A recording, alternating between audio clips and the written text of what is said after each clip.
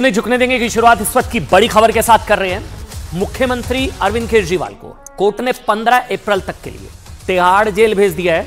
15 अप्रैल तक दिल्ली के मुख्यमंत्री अरविंद केजरीवाल तिहाड़ जेल में रहेंगे। तिहाड़ पहुँच चुके हैं मुख्यमंत्री अरविंद केजरीवाल। बाहर बताया गया आम आदमी पार्टी के कार्यकर्ताओं ने कुछ हंगामा किया। लेकिन अरविंद केजरीवाल अब 15 तारीख तक तिहाड़ में रहेंगे। लेकिन जानते हैं आज की खबर ये नहीं है। खबर मेरे इस इन डॉक्यूमेंट्स में जो मैं आपको बताने जा रहा हूँ, आप हैरान हो जाएँगे। अरविंद केजरीवाल पंद्रह पर तक तिहाड़ में रहेंगे, बल्कि आज खबर यह है कि अरविंद केजरीवाल ने ईडी के सामने पूछताछ में दो नाम ले ले लिए। दो नाम अरविंद केजरीवाल ने ले लिए, जो आने वाले टाइम में ईडी के रडार पर आ सकते हैं। जेल जाने से पहले अरविंद केजरीवाल ने दो लोगों के नाम ले लिए हैं। इन डॉक्यूमेंट्स में वो नाम केजरीवाल के इस बड़े खेल ने ना सबको हैरान कर दिया। तिहाड़ जाने से पहले दिल्ली और दिल्ली में रहने वाले करीब दो करोड़ लोगों के लिए बहुत बड़ा सवाल पीछे अरविंद केजरीवाल छोड़ गए क्योंकि अरविंद केजरीवाल ने किसी और का नहीं, अपने मंत्रियों का नाम ले लिया। आतिशी सौरभ भारद्वाज का नाम ले लिया। आपको भरोसा नहीं होगा, अरविंद केजरीवाल ने इन दोनों का नाम ले लिया। डॉक्यूमेंट्स हैं मेरे हाथ में। और उन्होंने ये ईडी ने बताया कोर्ट में कि विजय नायर मुझे रिपोर्ट नहीं करता था। Vijay Nair didn't report to him but to Atishi and Saurabh Bharadwaj. ये ईडी ने डॉक्यूमेंट्स कोर्ट में प्रोड्यूस किए, जिसमें बताया अरविंद केजरीवाल ने दोनों के नाम ले लिए, आतिशी और सौरभ भारद्वाज। अब सवाल उठ रहे हैं कि अरविंद केजरीवाल ने खुद को बचाने के लिए अपने ही दो मंत्रियों को फंसा दिया। क्योंकि अब ईडी इन दोनों से समझता पूछताछ करेगी। ये पूरी खबर मैं आपको बताऊँगा। इस सवाल के साथ कि क्या तिहाड़ जेल में केजरीवाल क्लब के सदस्यों में जल्द ही कुछ और नए नाम जुड़ने वाले हैं? वैसे केजरीवाल कैबिनेट की इन दो मंत्रियों में पहला नाम मैंने आपको बताया, ये जो डॉक्यूमेंट है, जो अरविंद केजरीवाल ने नाम लिया, दिल्ली की शिक्षा मंत्री आतिशी सिंह। दूसरा नाम दिल्ली के स्वास्थ्य मंत्री सौरभ भारद्वाज का। ये दोनों मंत्री अरविंद केजरीवाल के काफ़ी करीबी और विश्वास पात्र माने जाते हैं। हर कोई हैरान है। अरविंद केजरीवाल ने आतिशी का नाम ले लिया। अरविंद केजरीवाल ने सौरभ भारद्वाज का नाम ले लिया। वो कह रहे हैं कि विजय नायर मुझे नहीं रिपोर्ट करता था, इन दोनों को करता था। मतलब एक तरीके से वो ये मान रहे हैं कि कुछ गड़बड़ अगर है भी तो मेरा कोई लेना देना नहीं है। इन दोनों से पूछो। आतिशी सिंह का नाम ले लिया। सौरभ भारद्वाज का नाम ले लिया। लेकिन आज अरविंद केजरीवाल की वजह से दोनों के नाम शराब घोटाले में आ चुके हैं। और आशंका इस बात की है कि अब दोनों भी जल्द ईडी के रडार पर आ सकते हैं, क्योंकि इन दोनों का नाम खुद अरविंद केजरीवाल ने शराब घोटाले में लिया है। देखिए, आज कोर्ट में, ईडी ने, कोर्ट में बताया कि अरविंद केजरीवाल ने पूछताछ में बताया कि शराब नीति घोटाले में गिरफ़्तार आरोपी विजय नायर, उन्हें नहीं, बल्कि आतिशी सिंह और सौरभ भारद्वाज को रिपोर्ट करता था।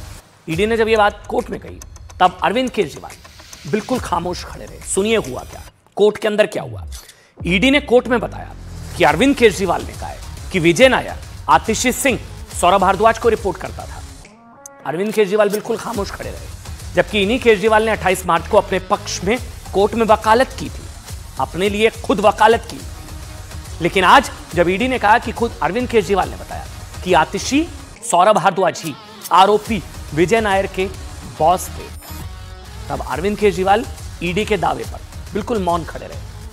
सामने खड़े थे सौरभ भारद्वाज और आतिशी दोनों बहुत चक्के रह गए। हमारा नाम कहाँ से आ गया? उन्होंने ईडी के दावे का अरविंद केजरीवाल ने खंडन तक नहीं किया।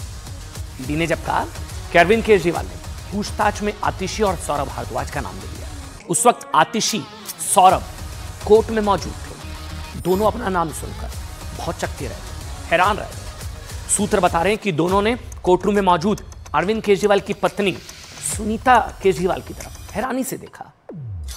सवाल यह है कि अरविंद केजरीवाल ने आतिशी का नाम, सौरभ भारद्वाज का नाम क्यों लिया? सवाल नंबर एक। सवाल नंबर दो कि अरविंद केजरीवाल ने आतिशी और सौरभ को धोखा दिया? जैसा बीजेपी आरोप लगा रही है। सवाल नंबर तीन कि अरविंद केजरीवाल ने खुद को बचाने के लिए अपने दो मंत्रियों को फंसा दिया। खुद को बचाने के लिए अपने दो मंत्रियों को फंसा दिया।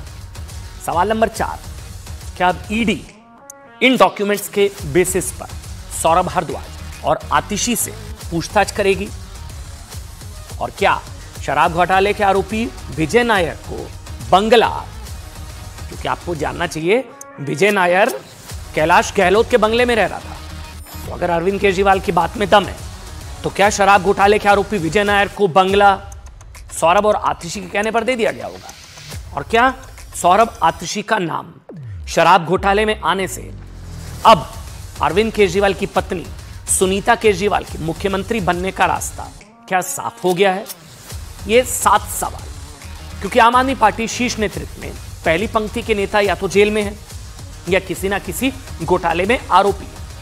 या फिर घोटाले में उनका नाम आ चुका है, जैसा कि आतिशी और सौरभ। या फिर वो विदेश में मतलब आप राघव चड्डा जी विदेश में, स्वाति मालीवाल जी भी कुछ कारणों से व्यक्तिगत, वो भी यूएसए में सवाल ये भी है कि शराब घोटाले में अपने दो मंत्रियों का नाम, अरविंद केजरीवाल ने क्यों लिया?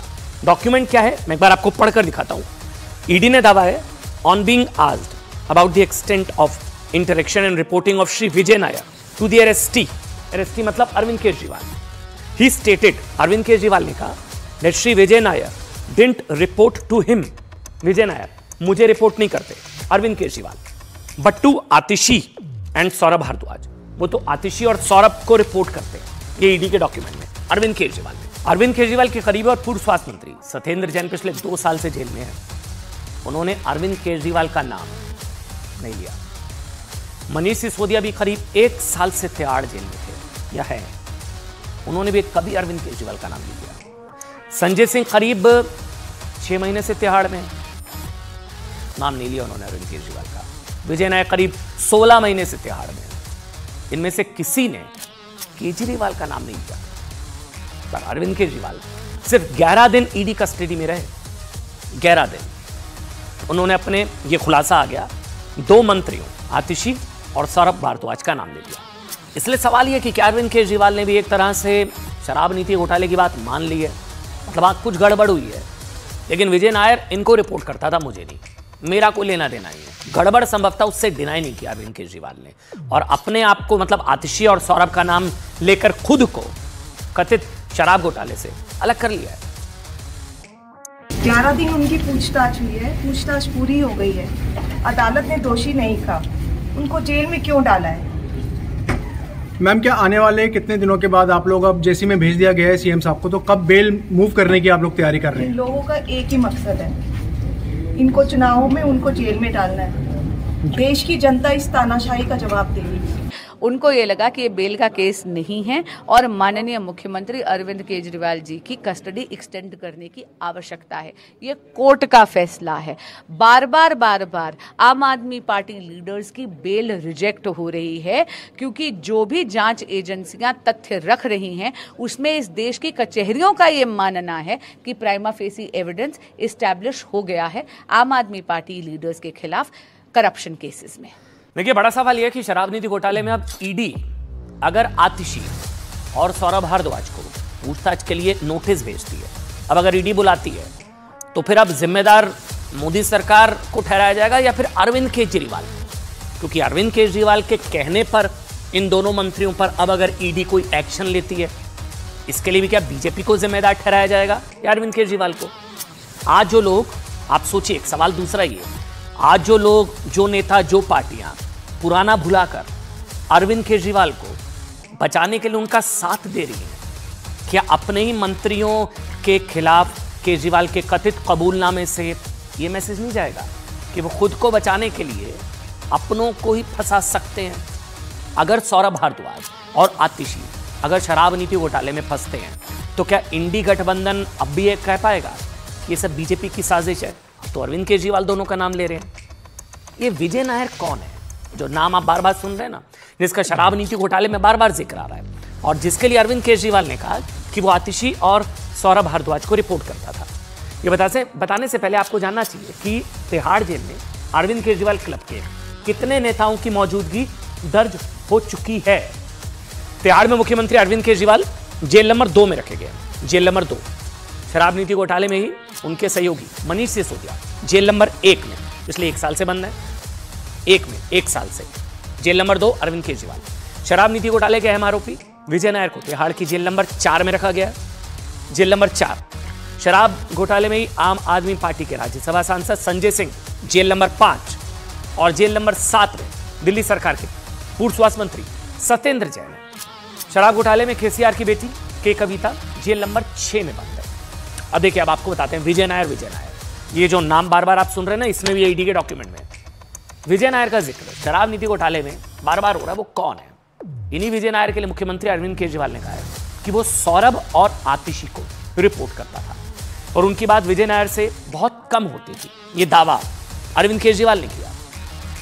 ईडी ने आज शराब नीति घोटाले में अरविंद केजरीवाल को लेकर जो कहा, उससे कई अहम खुलासे हुए। ईडी ने कहा, डॉक्यूमेंट में, विजय नायर आम आदमी पार्टी का मामूली कार्यकर्ता नहीं, बल्कि पार्टी का communication cell media head Vijay Nair Kejriwal का बहुत क्लोज केजरीवाल और विजय नायर के व्हाट्सएप चैट दोनों के करीबी रिश्तों को दिखाते हैं। ईडी ने यह भी कहा कि विजय नायर कई शराब कारोबारियों से शराब नीति लागू करने को लेकर मीटिंग कर रहा था। लेकिन जिस अधिकार से इस बात का जवाब अरविंद केजरीवाल ने नहीं दिया विजय नायर खुद कह चुका है कि वो मंत्री कैलाश गहलोत के बंगले पर रहकर शराब नीति बना रहा था। कैलाश गहलोत के बंगले में विजय नायर रह रहा था। सीएम को रिपोर्ट नहीं करता था यह दावा। मुख्यमंत्री के कैंप ऑफ़िस में काम कर रहा था। लेकिन ईडी ने कहा कि केजरीवाल ने इन बातों पर कोई साफ़ जवाब नहीं दिया। आपके नेता, अब सुनिए एक और खुलासा। आपके नेता हैं एनडी गुप्ता। ये ट्रेजरार हैं।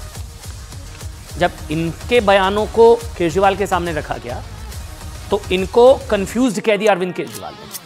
आम आदमी पार्टी के ट्रेजरार एनडी गुप्ता ने अपने स्टेटमेंट में कहा था कि चुनाव के दौरान राज्य का प्रभारी कौन होगा? ये खुद अरविंद केजरीवाल तय करते थे। इस दावे के उलट अरविंद केजरीवाल ने अपनी पार्टी के नेताओं को कंफ्यूज करार दे दिया। ईडी ने कोर्ट को यह भी बताया कि अरविंद केजरीवाल जाँच को गुमराह कर रहे और वो अपने इलेक्ट्रॉनिक डिवाइस के पासवर्ड भी नहीं दे रहे कोऑपरेट नहीं कर रहे ऐसे तथ्यों के आधार पर कोर्ट ने केजरीवाल को 15 अप्रैल तक न्यायिक हिरासत में भेज दिया। ये पहले मुख्यमंत्री होंगे दिल्ली के जो कि तिहाड़ में होंगे।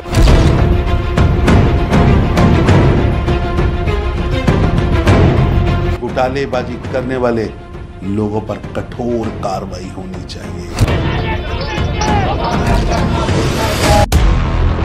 पंद्रह अप्रैल तक न्यायिक हिरासत में केजरीवाल। मैम आपका नाम आया है आप कुछ कहना चाहेंगे? मैम पहली बार आप कोर्ट में थी उन्होंने कहा कि सीएम साहब ने कहा है कि विजय नायर आपको रिपोर्ट करते थे। मंत्री जी जो ये कर रहे हैं ये देश के लिए अच्छा नहीं आज तिहाड़ में केजरीवाल की पहली रात। कह रहे सरकार फिर से नहीं चलेगी। एक पॉलिटिकल है जनता इसका जवाब घोटाले में घिरे अरविंद केजरीवाल को आज एक बार फिर दिल्ली की राउत रेवेन्यू कोर्ट से तगड़ा झटका लगा। ग्यारह दिन की ईडी की रिमांड के बाद अब केजरीवाल को 15 अप्रैल तक न्यायिक हिरासत में भेज दिया गया है, जिसके बाद आज उनकी पहली रात तिहाड़ जेल में बीतेगी। तिहाड़ में अरविंद केजरीवाल को जेल नंबर दो में रखा गया है। इस जेल में आमतौर पर उन कैदियों को रखा जाता है, जो कोर्ट की तरफ़ से किसी भी मामले में कन्विक्ट होते हैं। तिहाड़ के बाहर की क्या तस्वीर है, वो भी आपको दिखाते हैं। देखिए, ये रोड की दूसरी तरफ़ जो छोटे छोटे ठेले छोटे छोटे चाय की दुकानें थी, उन सबको सुरक्षा के मद्देनजर बंद करा दिया गया है। दुकानों के बाहर भी पुलिस वालों की तैनाती नज़र आ रही है। सुरक्षा के कारणों के चलते इन सभी को दुकानों को ढकने के लिए, बंद करने के लिए कह दिया गया है। इससे पहले दिल्ली के दो मंत्री सत्येंद्र जैन और मनीष सिसोदिया पहले ही तिहाड़ जेल में है। इसके अलावा राज्यसभा सांसद जो आम आदमी पार्टी के संजय सिंह, वो भी तिहाड़ में है। ऐसे में चौदह दिन की न्यायिक हिरासत में अरविंद केजरीवाल तिहाड़ में रखे जाएँगे। जैसे ही केजरीवाल को 15 दिन की न्यायिक हिरासत में भेजे जाने की खबर सामने आई, आम आदमी पार्टी के कार्यकर्ताओं ने विरोध प्रदर्शन शुरू कर दिया। आम आदमी पार्टी के कार्यकर्ता तिहाड़ जेल के बाहर ही इकट्ठे हो गए और केजरीवाल को जेल भेजे जाने के खिलाफ विरोध प्रदर्शन करने लगे। अरविंद केजरीवाल की पत्नी सुनीता केजरीवाल ने केंद्र सरकार पर तानाशाही का आरोप लगाया। तो बीजेपी का कहना है कि कोर्ट के अंदर केजरीवाल का झूठ पूरी तरह एक्सपोज हो चुका है। ग्यारह दिन उनकी पूछताछ हुई है पूछताछ पूरी हो गई है। अदालत ने दोषी नहीं कहा। उनको जेल में क्यों डाला है?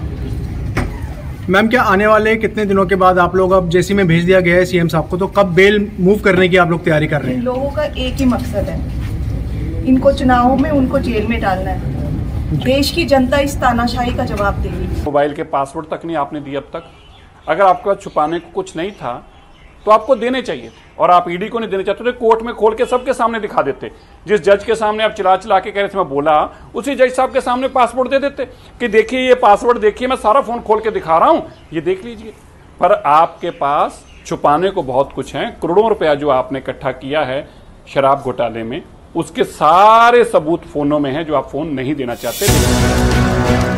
तिहाड़ के अंदर केजरीवाल जेल नंबर दो में रहेंगे और इस जेल में वो अकेले ही रहेंगे।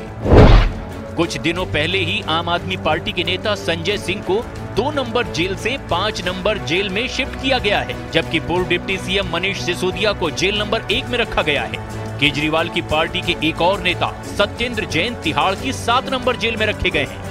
और शराब घोटाले की एक और आरोपी के कविता को लेडी जेल जेल नंबर छह में रखा गया है।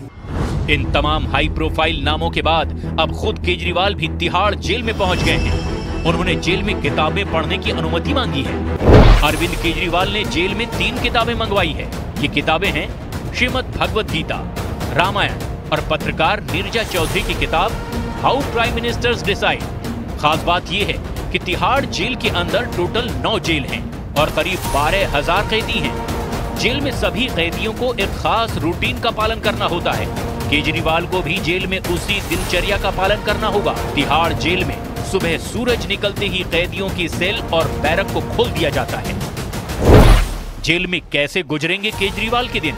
सुबह के नाश्ते में करीब साढ़े छह बजे चाय और ब्रेड दिया जाता है। नहाने के बाद उसको अगर कोर्ट जाना हो या फिर मुलाकात करनी हो तो कैदी उसके लिए तैयार होता है।